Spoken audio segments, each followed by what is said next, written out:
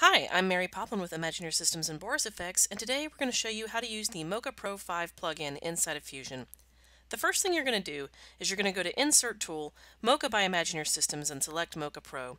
It'll bring up a node, and you simply launch the Mocha UI.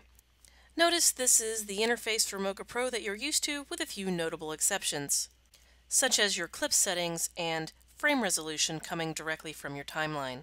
All of this loads from your Fusion timeline instead of from the clip tab. Other than that, rotoscoping works the exact same way. You make an X-spline or a Bezier, you track, and then you correct your shapes over time. Once you have all of your shapes completed, you can simply check your roto and then you can export your shapes. In this case, we're going to first apply our matte inside of the plugin. When we apply our matte, you can see that we can actually feather it right here inside of the plugin interface. Alternately, in Mocha Pro 5, I can export to Blackmagic Fusion comp data, copy that to the clipboard, and from my clipboard I will be able to paste my data right into my Fusion comp by simply selecting my node and hitting paste. You're also able to paste your shape data out of Mocha Pro 5 by going to Blackmagic Fusion Shapes and selecting all visible layers, copying that to the clipboard, and then once back inside Fusion, simply hitting paste again, and you can see all of your shapes are pasted directly into your Fusion comp. Another requested feature was the lens and insert tools working inside the plugin. Well, that's really easy. You simply launch the plugin, and then once inside of the Mocha Pro plugin, you're going to go to the Lens tab. Inside the Lens tab, you're going to locate every line that Mocha thinks needs to be straight, and of course, since Mocha is a computer, you have to define the proper straight lines to use as reference points.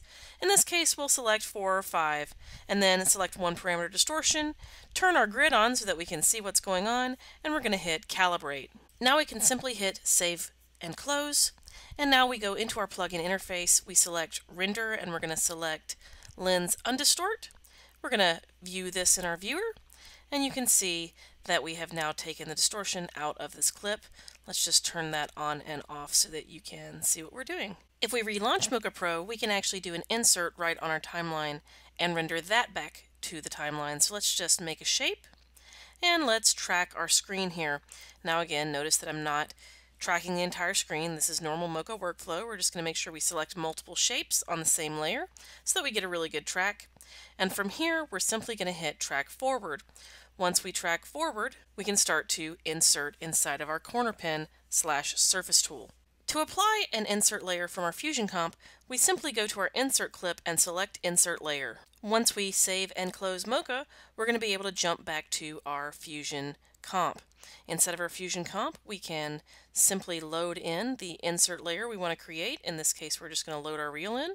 And we designate this new clip as our insert into this node. And now you can see that our insert is applied right to our timeline, we have already selected the render checkbox and for the module that we're rendering we've selected insert composite or we can actually apply it as a transparent layer as well by selecting insert cutout. The stabilize module works in the exact same non-destructive way. You simply apply your Mocha Pro by Imagineer Systems, and you launch the Mocha UI. Once inside the Mocha UI, you're going to want to track a plane that you can always see in the shot that you want to stabilize. In this case, we're going to use the road. I'm going to use the Add to X-Spline tool in order to get better tracking data on either side of our running man. Once I've done that, I can align the surface and hit track forward so I can check my track. Once my track is complete, I can jump over to the Stabilize module. Inside of the Stabilize module, I can simply stabilize based on X, Y, and rotation, and we can see what that looks like. Now I feel like that looks pretty good, but I also feel like it's cutting off a lot of my frame. Well, one of the things I can do about that is I can go to my frame list and I can actually add a full frame at the beginning and the end of the shot, just like so. Now it will pan between these two points based on my stabilized data. Back inside of Fusion, I select my render and I select stabilize and it will render right back to my timeline inside of Fusion without having to render natively out of the Mocha Pro software. And finally, the remove module works the exact same way, rendering to and reading from your native Fusion timeline. Simply launch the Mocha UI, and once inside the Mocha UI, You can select your X-splines, and in this case we're going to define the foreground lady, the yellow lady, and track the background. Once we have tracked the background to our satisfaction, we can select our yellow lady and select remove. Back inside of Fusion, we're simply going to select our render and remove. Now on our timeline, we can view our before and after just like this. It really is just that simple and it really does render back to your timeline.